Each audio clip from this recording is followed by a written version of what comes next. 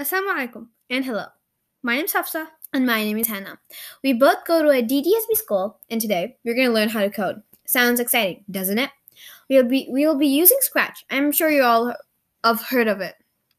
We'll be coding a maze game all by ourselves, and I promise you, you're going to feel like the tiniest and the smartest coder on the planet. So let's get straight into it. On your web browser, Google Scratch. Click on the first link this is your Scratch homepage.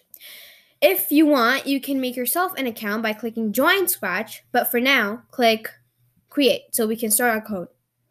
We are now inside our game. This is where we do all the coding. This blank space right here is your work area. This green flag will run your program. As in, if you click on it, your program will start working. This icon help here helps you add new characters, and this one helps you add new backdrops. This section right here contains all the commands. We have motion, looks, sound, and more. Today we're going to be making a maze game, but before we do any coding, we need to create the actual maze. Click on the stage button here, then click backdrops, which should be in the top right corner. Click on this icon. It'll enable you to draw a rectangle. Now drag this icon and make your background. To make this simple as possible, I'll be just adding two rectangles. You can change the color if you want by clicking here. I'll make mine blue. We can uh, we are also going to edit our character. I'm just going to make mine smaller. You don't have to do this.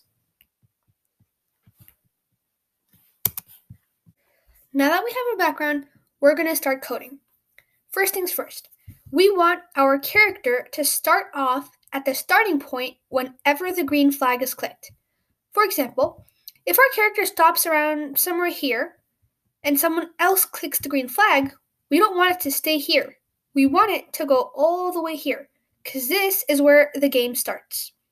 To do that, go to the Events tab and uh, take out the When Green Flag Clicked button.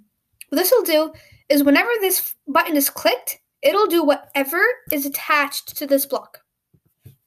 Go to Motion, and um, as you can see, there's a go to um, X and Y coordinates uh, command right here.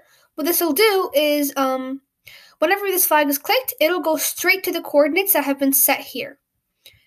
If I move my uh, character, you can see these coordinates keep changing. Like that. And one more time. Like that. So we want it right around here. And we're going to take this out. And attach it to the when flag click button. Let's test this out.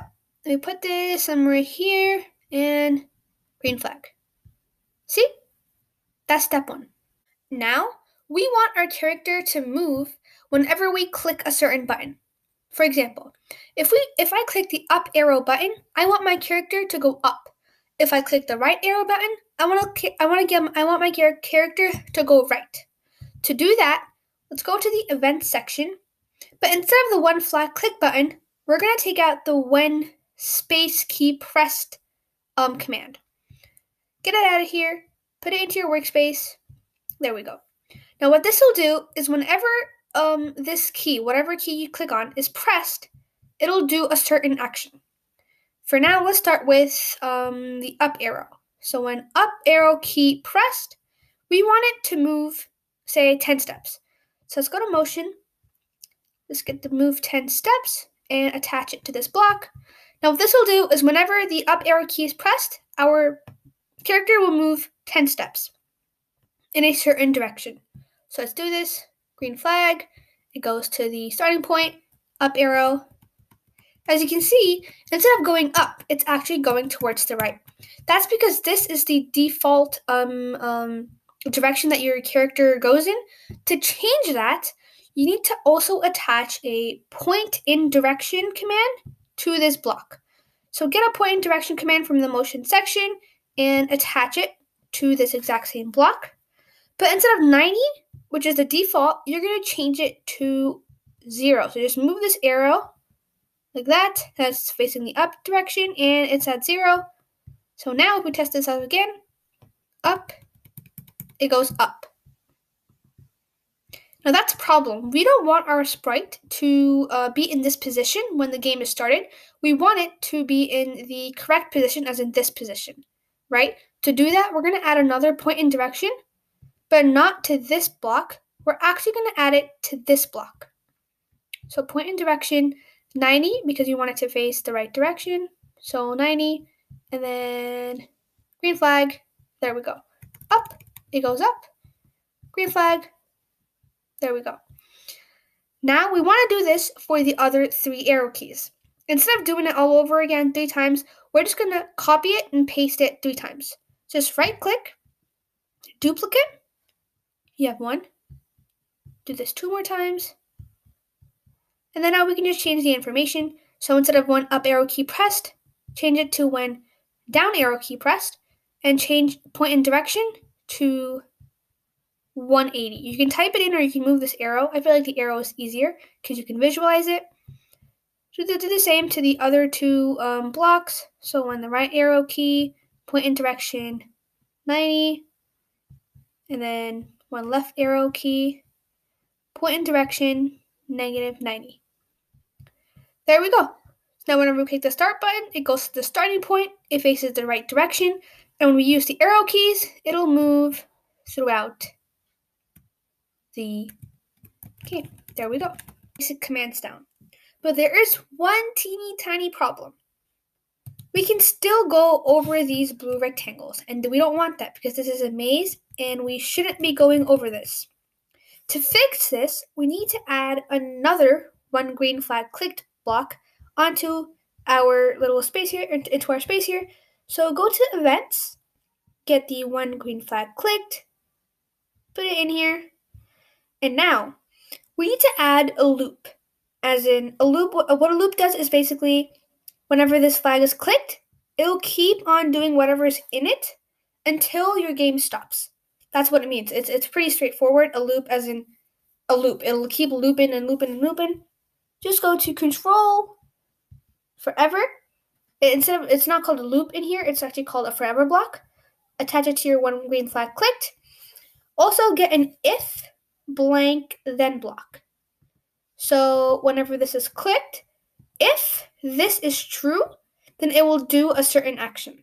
Okay? So we want our character to um, go back to the starting point whenever uh, it touches a blue, whenever it touches the blue rectangle.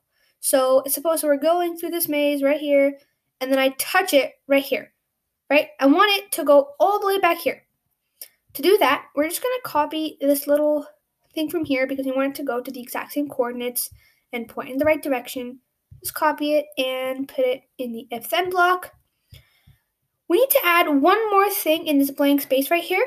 We need to specify, we need to, we need to tell our program that when the sprite touches this blue color, well, black because it has a, a border, whenever it touches this color, we want it to do this.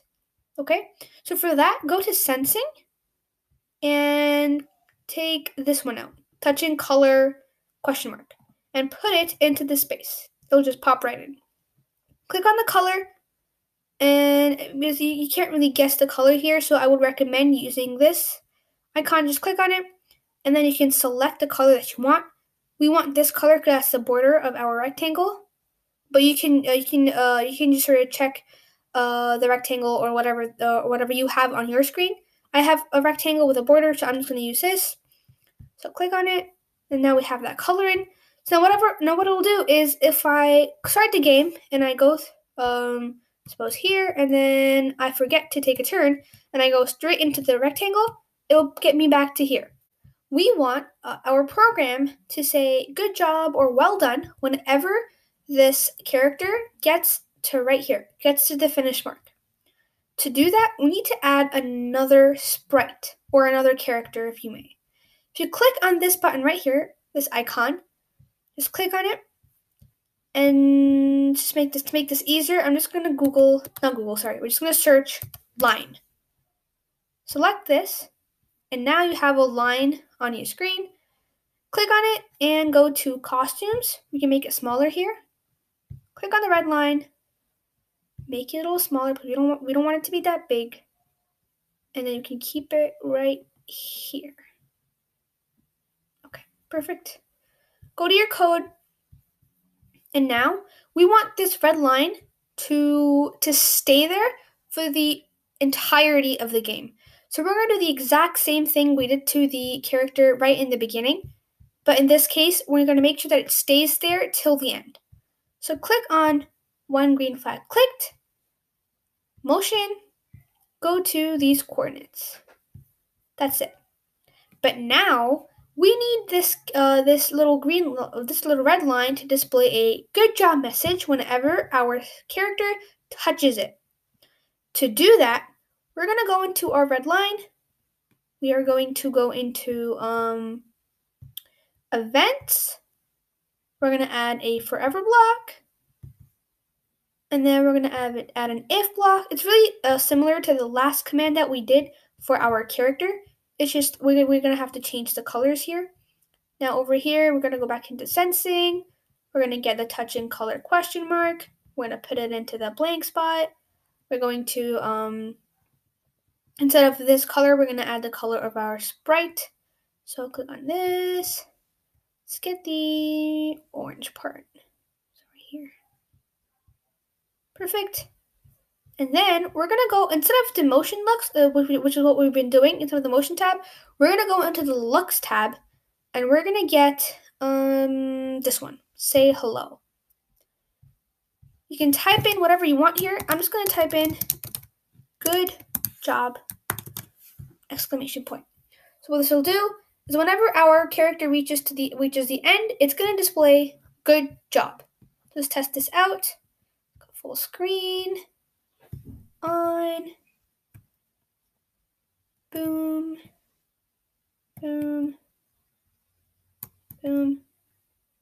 It's the last step. And there we go. Give yourself a pat on the back because you created your very own game. Good job. This is just the beginning of your little coders. I hope you all learned something from this video. Be sure to click the other games that other users have created and create and try to make your own. It'll only get more fun from this point onwards. That's all for today. Thanks for watching. Bye. Assalamu alaikum.